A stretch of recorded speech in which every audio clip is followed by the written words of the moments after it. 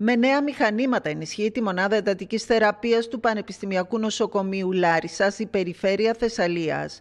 Πρόκειται για σύγχρονο εξοπλισμό συνολικού προϋπολογισμού 1.200.000 ευρώ με χρηματοδότηση από το ΕΣΠΑ Θεσσαλίας.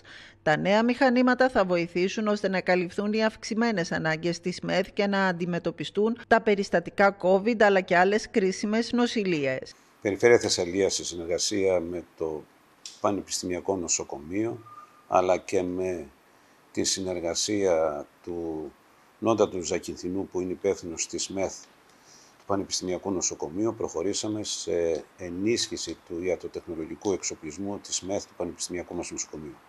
Γι' αυτό σήμερα δίνουμε την έγκριση για την προμήθεια 15 ειδών που χρειαζόταν σύμφωνα με εισήγηση του Πανεπιστημιακού Νοσοκομείου. Συγκεκριμένα εγκρίθηκαν 15 συμβάσεις που αντιστοιχούν στην αγορά αναπνευστήρων, ενός υπερηχοτομογράφου, μηχανήματα αποστήρωσης, συσκευές παροχής οξυγόνου, αναπνευστήρες και απεινιδωτές. Μηχανήματα για την καλύτερη λειτουργία της ΜΕΘ και την καλύτερη θεραπεία των ανθρώπων που χρειάζονται να εισαχθούν στις ΜΕΘ στο Γενικό Πανεπιστημιακό Νοσοκομείο της Λάρισας. Επίσης, πρόκειται το Πανεπιστημιακό Νοσοκομείο να προμηθευτεί 10 φορεία, ενώ σε εξέλιξη βρίσκεται η διαδικασία συμβασιοποίησης για τρία υπολοιπόμενα είδη, όπως συσκευές αποσωλήνωσης, υποθερμίας και ατλίες σύντησης, προϋπολογισμού 50.900 ευρώ.